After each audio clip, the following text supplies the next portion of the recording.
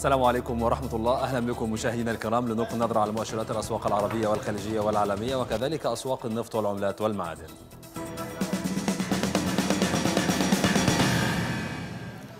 نفتتح مشاهدينا الكرام هذا الأسبوع باستعراض سريع للمؤشرات التي بدأت قبل قليل في أبو ظبي تذبذب مائل للانخفاض بحوالي أقل من النقطة العادية. المؤشر عند 4920 نقطة. وقد ارتفع المؤشر العام لسوق أبو ظبي المالي خلال الأسبوع الماضي بنحو 18% بدعم من ارتفاع قطاعي العقارات والاتصالات بالتزامن مع بدء إعلان النتائج المالية الفصلية للشركات. وكان قطاع الخدمات الأكثر ارتفاعا خلال الأسبوع بنسبة 6.9 من 10% بدعم من سهم أبو ظبي للفنادق المرتفع ب 14.3 من 10% وصعد قطاع العقارات ب 4.8 من 10% بمكاسب سهم الدار العقارية ب 6.6 من 10%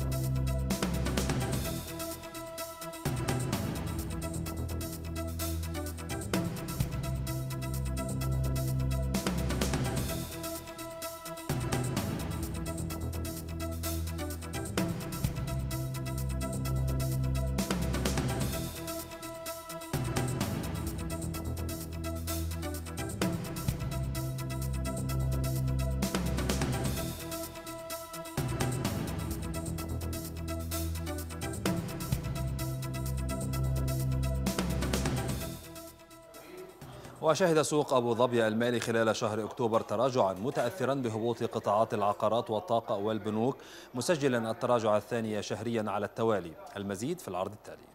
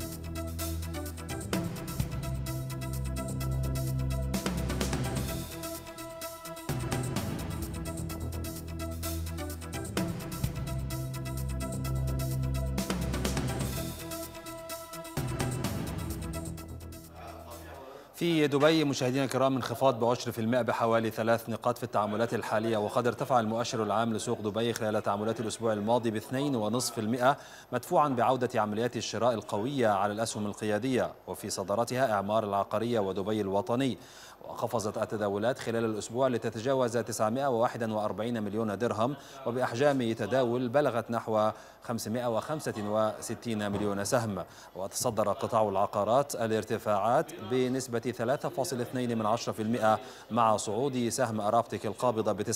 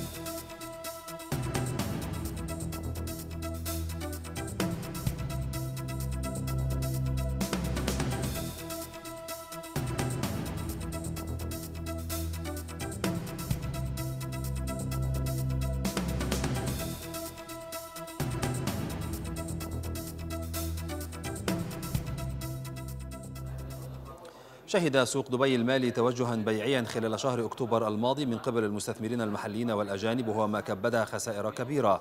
المزيد عن أداء بورصة دبي خلال شهر أكتوبر في العرض التالي.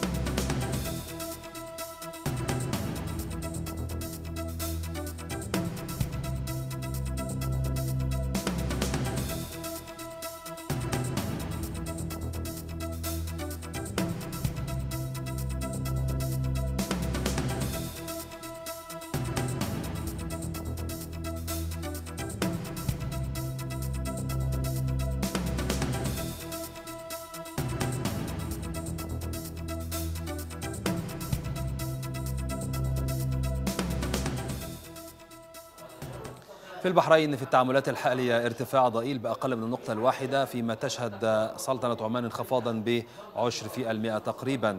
وفي البورصة الكويتية في مؤشراتها في الأول ارتفاع بعشر مئوي. الرئيسي متذبذب مائل الانخفاض بأقل من النقطة. السوق العام مرتفع بعشر في المئة. وقد اختتمت البورصة الكويتية تعاملات الأسبوع الماضي بارتفاع جماعي للمؤشرات وسط تصاعد ملحوظ في وتيرة التداولات وخاصة في آخر جلستين من الأسبوع. وارتفع المؤشر العام بشكل أسبوعي ب 16% وحقق مؤشر السوق الأول ارتفاعا ب 17% كما ارتفع مؤشر السوق الرئيس بواقع نصف نقطة مئوية وارتفعت السيولة خلال الأسبوع لتتجاوز 70 مليون دينار بارتفاع قدره 23.7% كما ارتفعت أحجام التداول الأسبوعية ب 49.1% لتبلغ نحو 366 مليون سهم.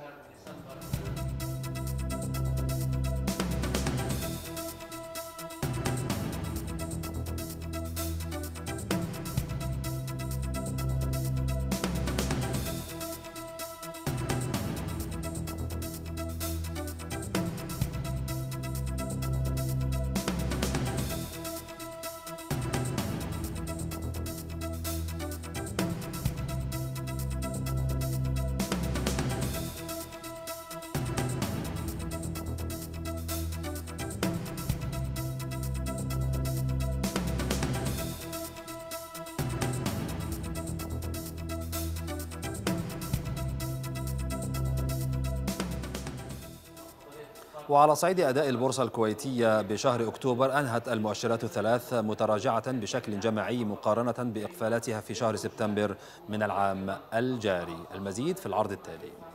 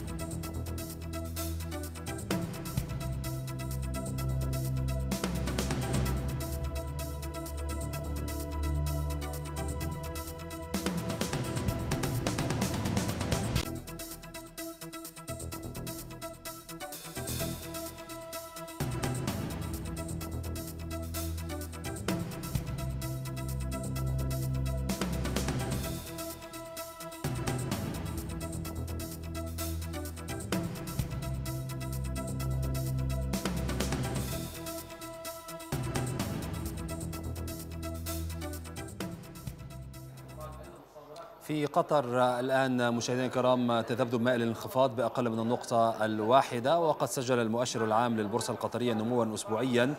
على مدار الأسبوع الماضي بالطبع في المئة بدعم من صعود خمسة قطاعات بقيادة البنوك في المئة تلاه العقارات في المئة ثم الاتصالات في المئة وبلغت القيمة السوقية للأسهم القطرية بنهاية تعاملات الخميس الماضي 578 مليارا و500 مليون ريال بنمو بلغ واحدا ونصف المئة عن قيمته في الأسبوع السابق البالغة 570 مليار ريال.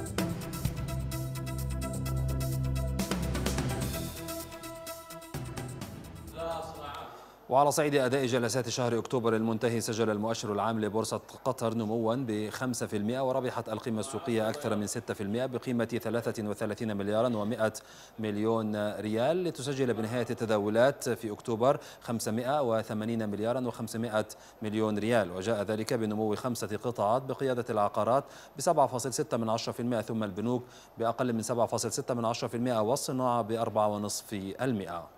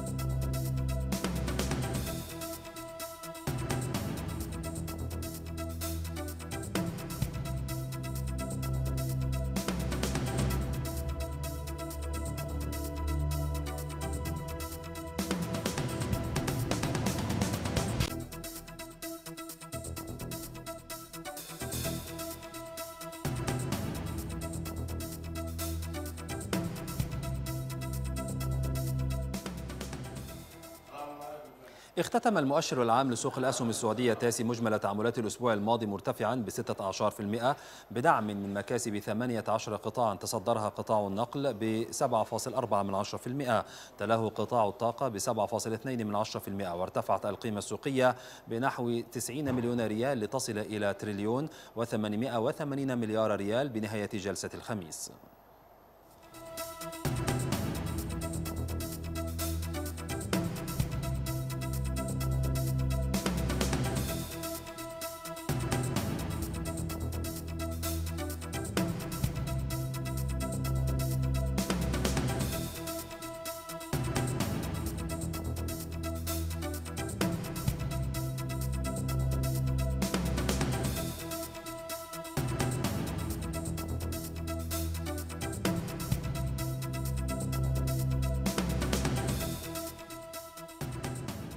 وسجلت البورصة السعودية خسائر قوية خلال مجمل تعاملات شهر أكتوبر ليتراجع المؤشر العام ب 21% وشهدت القيمة السوقية هبوطا ب 19% بقيمة بلغت 17 مليارا و720 مليون ريال لتصل إلى تريليون و882 مليار ريال. وسجل 14 قطاعا خلال الشهر تراجعا بصدارة قطاع الرعاية الصحية ب 5 و16% تلاه المرافق العامة ب 5 و14%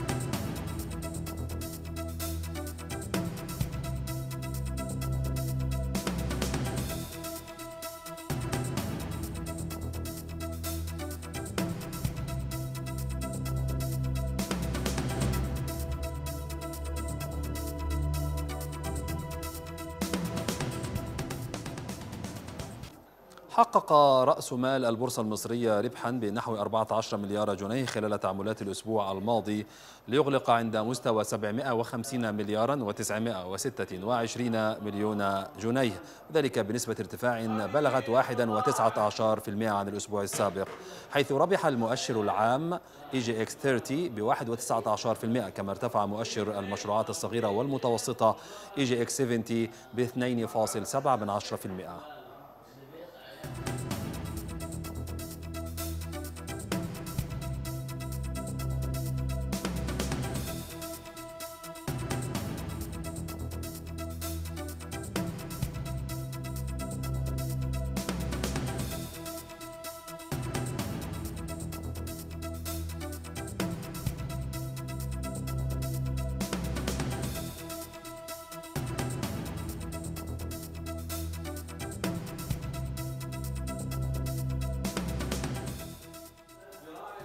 خيم التراجع على مؤشرات بورصة مصر خلال أكتوبر 2018 وسط تأثيرات سلبية لأزمة الأسواق الناشئة وقرار الحكومة بتأجيل برنامج الطروحات.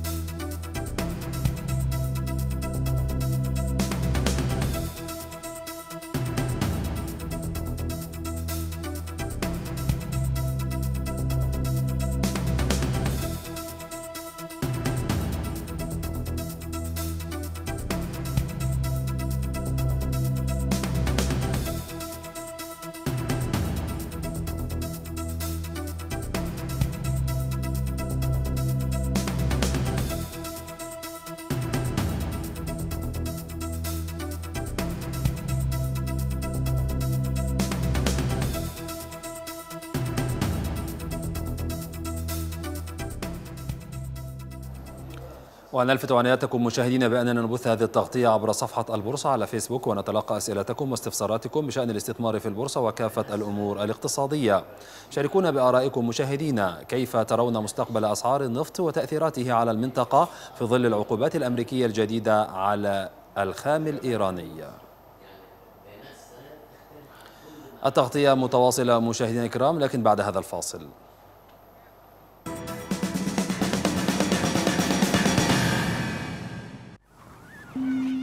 منذ إنشاء الصندوق الكويتي للتنمية عام 1961 عمل على دعم وتعزيز سبل العيش للناس في أكثر من 100 دولة من خلال تمويل مشاريع متنوعة في مختلف القطاعات.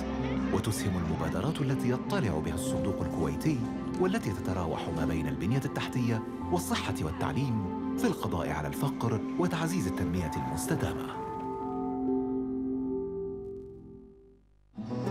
من مسار الثقة نواصل مسيرة النجاح.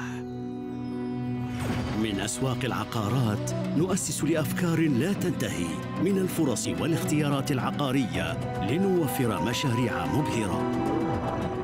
في أسواق المال نكمل نجاحنا في جذب ثقة شركائنا عبر خيارات متنوعة من الأنشطة الاستثمارية بدقة التكنولوجيا. تتوالى إنجازاتنا في صناعة أنظمة متطورة.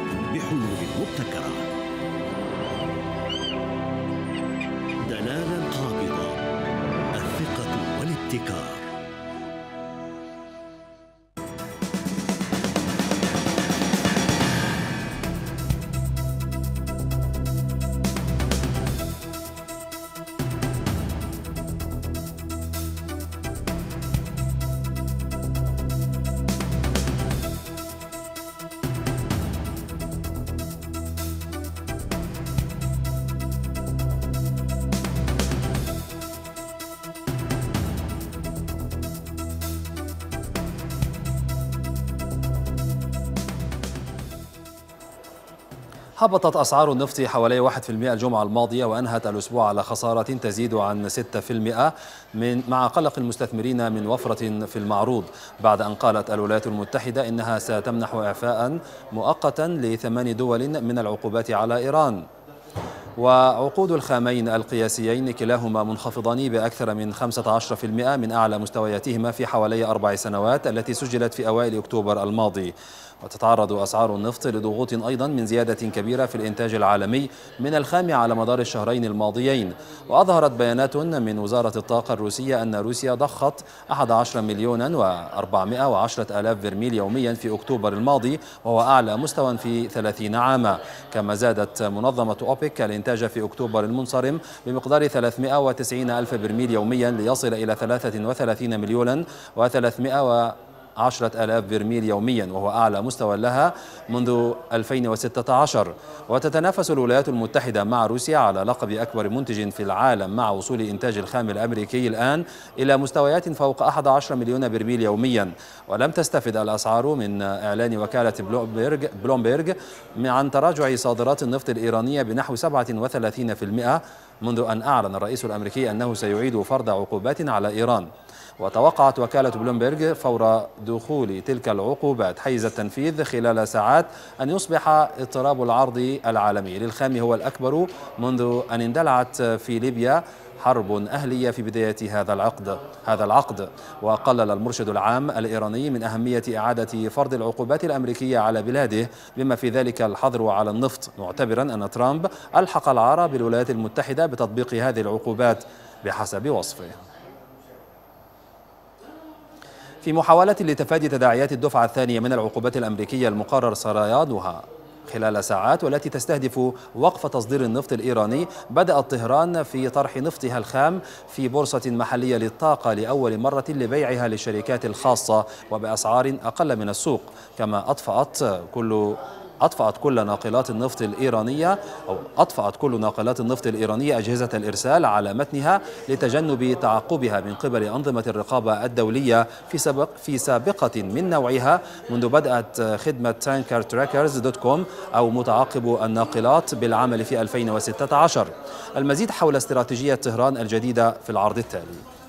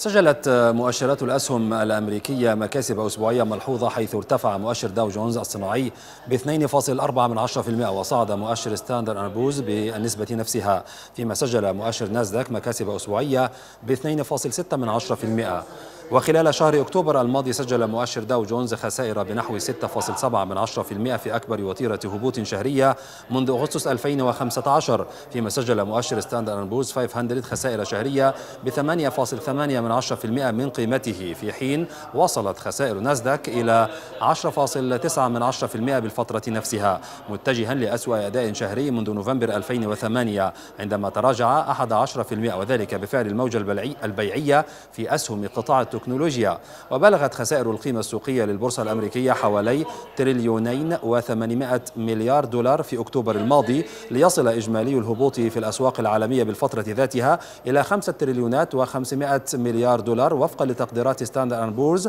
Jones Index شاركونا بآرائكم مشاهدينا الكرام كيف ترون مستقبل أسعار النفط وتأثيراته على المنطقة في ظل العقوبات الأمريكية الجديدة على الخام الإيراني. التعليقات بعد الفاصل.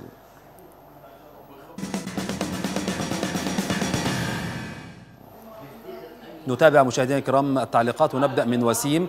المفروض منطقيا أن ترتفع أسعار النفط لكن مع تعهدات السعودية بزيادة الإنتاج وتعويض النقص في السوق الناتج عن العقوبات على إيران ومع تصريح وزير الخارجية الأمريكي باستثناء دول من العقوبات على إيران ربما تستقر أسعار النفط عند المستوى الحالي.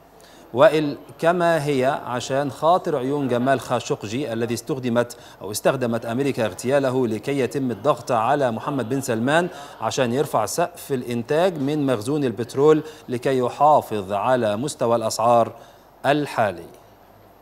الصادق يعقوب أمريكا دولة عدائية ضد إيران وبس. حساب لعقل العقوبات الأمريكية ستكون قاسية على الاقتصاد اللبناني وعلى القطاع المصرفي، لا بل أكثر من ذلك سيطال تأثيرها المباشر الشباب اللبناني الذي يرزح أصلا تحت نير البطالة والفقر. إيهاب الدول النفطية سوف تقوم بتغطية الفرق بدون مقابل وسوف يتم نزول سعر برميل النفط لتدمير موازنة الدول النفطية واستغلالها لدعم البنك الدولي. أشكركم متابعينا على الفيسبوك. الشكر موصول لحضراتكم مشاهدينا الكرام. لقاؤنا متجدد مع حضراتكم في الثانية عشرة بتوقيت مكة المكرمة عبر شاشة الجزيرة المباشرة. السلام عليكم ورحمة الله.